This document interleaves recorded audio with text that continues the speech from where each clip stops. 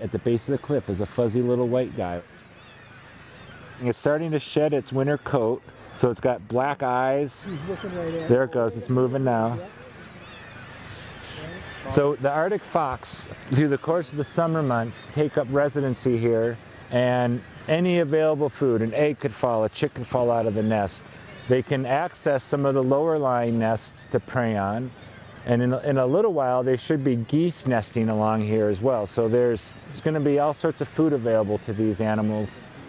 But the real payday is when these guillemots start to fledge and those little fluffy chicks come bouncing down the hillside. These Arctic foxes will pick them off one by one to the point where they're satiated and they'll cache all of those carcasses. Yeah, he's just looking for any little morsel of nubbin he can get a meal out of. These foxes, they weigh next to nothing. They're extremely light. They don't carry a lot of fat. No. little thing.